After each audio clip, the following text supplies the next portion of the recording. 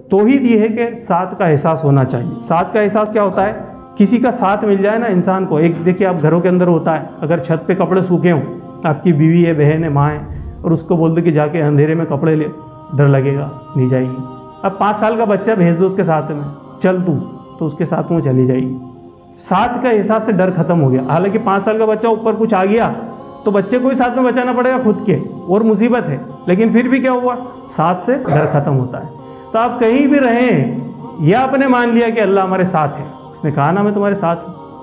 तो आप कहीं भी रहें, वो साथ का एहसास है तो डर कहीं से आएगा फिर?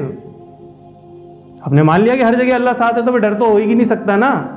तो ये इसके खिलाफ है तो के खिलाफ। किसी से डरने की ज़रूरत नहीं। तो फिर ये मुकम्मल तोहीद है। लेकिन आपने फिर अपने आप को दूसरों के सामने झुका लिया, कि लीडर के सामने, नेता के सामने, दौलतमंद के सामने ऊँची शख्सियत के सामने, दीनी रहनुमा के सामने कि ये किताब ये कह रही है, अल्लाह ये कह रहा है, दीनी रहनुमा ये फरमाए, ये बुज़ुर्ग है, इन्होंने ये कह दिया तो इनकी बात मान ली। ये सब शिरक है, क्योंकि वो पसंद ही नहीं करता।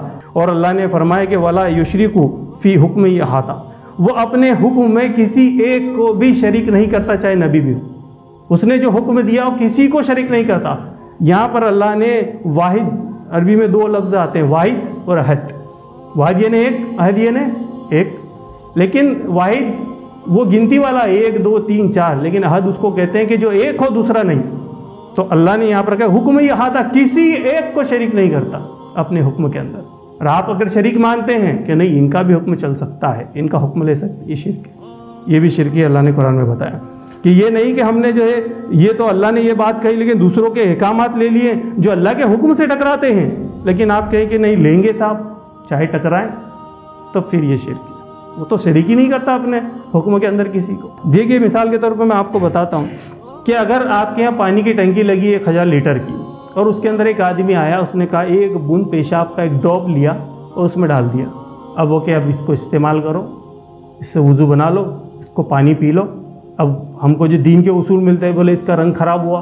एक बूंद में एक हज़ार लीटर में क्या फ़र्क पड़ेगा? ख़राब होगा? रंग भी ख़राब नहीं होगा। बदबू आ जाएगी क्या एक हज़ार लीटर में? एक बूंद पेशाब से नहीं आएगी। लेब में टेस्ट करवा लो। वहाँ भी आ जाएगा, बोले, नहीं साफ़ प्योर है। एक बूंद से कोई फ़र्क नहीं पड़ता।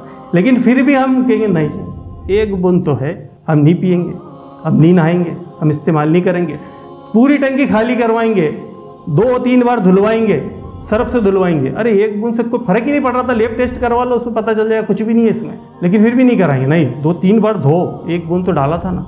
जब हमारे लिए हम ये पसंद करते हैं तो उस रब के हुक्म में, चाहे कोई हो दुनिया का किसी ने भी कहा हो, किसी के भी ताल्लुक से आ रहा हो, जिसने भी कहा हो, और एक बात भी उसके हुक्म से टकरा जाती है, वो पसंद नहीं करेगा, शिरक उसको इतनी प्योरिटी चाहिए।